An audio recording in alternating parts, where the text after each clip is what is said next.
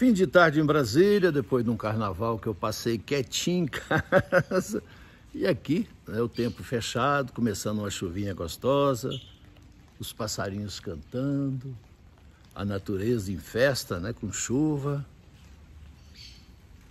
E vamos ver se a partir de segunda-feira o Brasil volta ao normal, se a gente volta a trabalhar de verdade, né?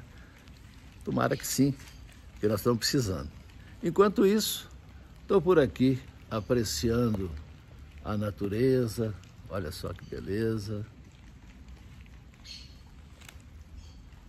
Esse é um velho mandacaru. Ó.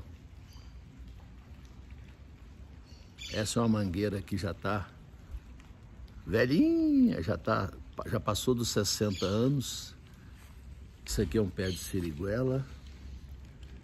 E essa aqui eu chamo de árvore dos beija-flores, que os beija-flores gostam muito dela, né?